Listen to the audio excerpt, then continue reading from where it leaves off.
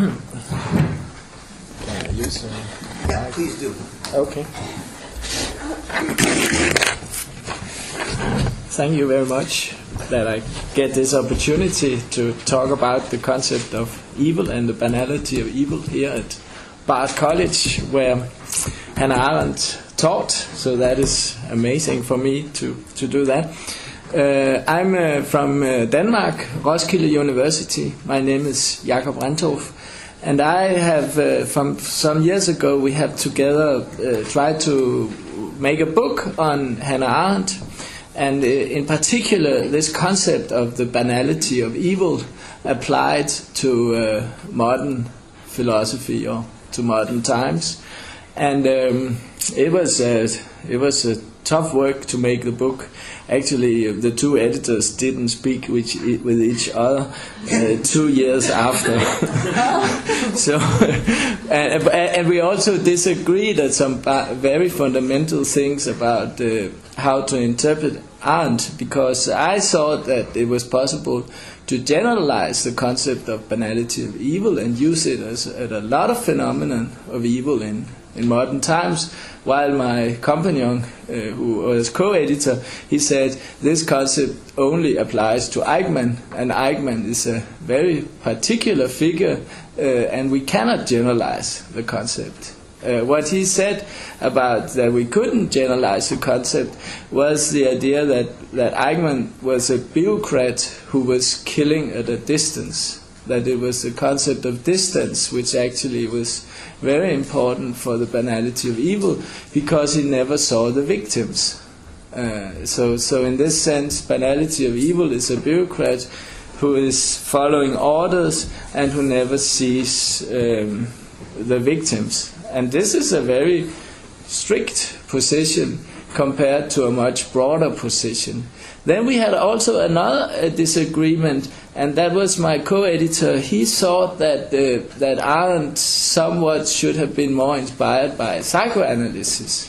He's, he he used Lacan, the psychoanalytic philosopher, to interpret uh, it uh, Eichmann, and he said that Eichmann was a cynicist in some way.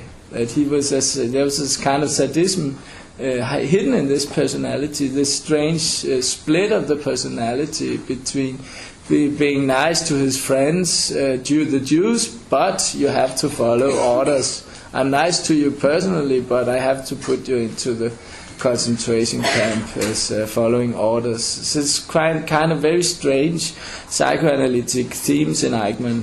I'm, I don't know. I don't know whether I agree with that.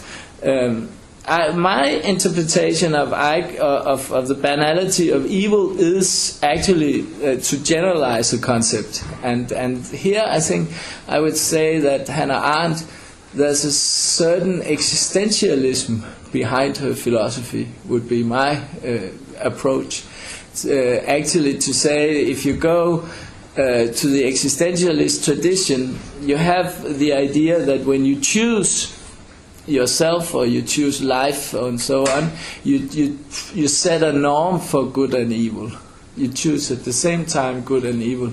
So when you choose, you cannot choose evil, in a sense. When you choose, you, you set a norm, and it is, an, in a sense, contradictory with yourself to, to choose evil, because then evil would be a good for you because then you choose it as a good. If you choose to as a project in life it's a good for you.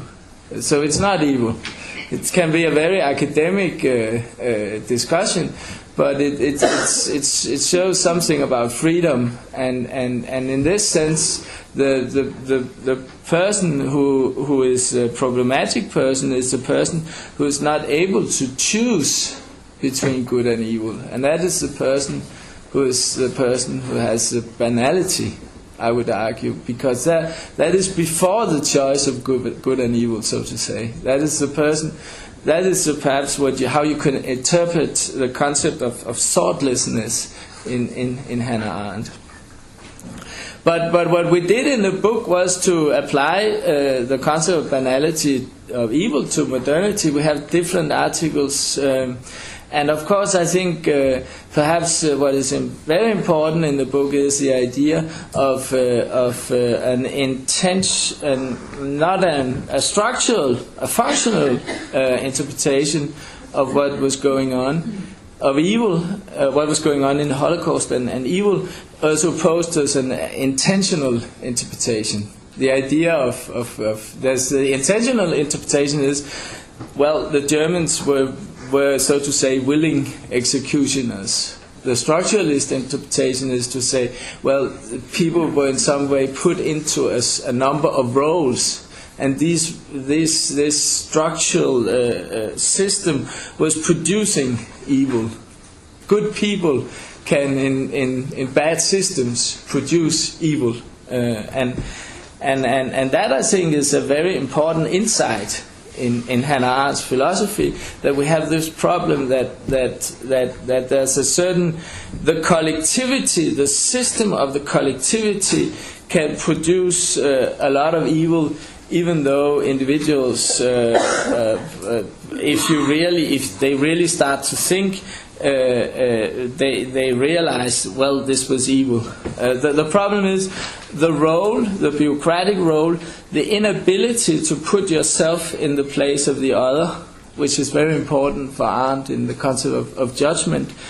Uh, and, and I think we have many examples of that in modern times where we can use this idea of the concept of evil, uh, of banality of evil. Uh, for example, we can analyze systems of ad- administrative systems, how uh, people uh, uh, act do- just doing their jobs with, without looking at the individual uh, that they treat in their administrative function. We can look at healthcare systems where where where patients are becoming uh, numbers in the systems and not real people. We can look at, for example, at, at the at the current financial crisis, where we can say that that also the, the business person in the bank is is talking of, is is referring to greed rather than looking at, at, at, the people behind not being able to put themselves in the place of the other. So, in this sense, I think with, with this concept, there are many applications of the concept of the banality of evil.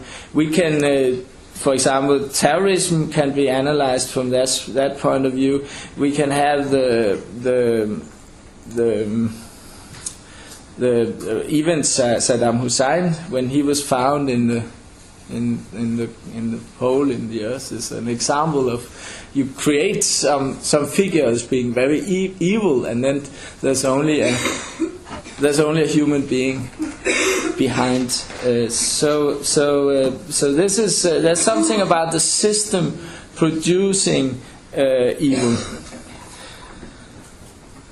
Uh, but of course, there's still the, the, the, the, debate whether, whether you can say uh, that, that such persons, uh, that, that, that, that evil is only a function of the role in the system, and that the person did not really intend evil.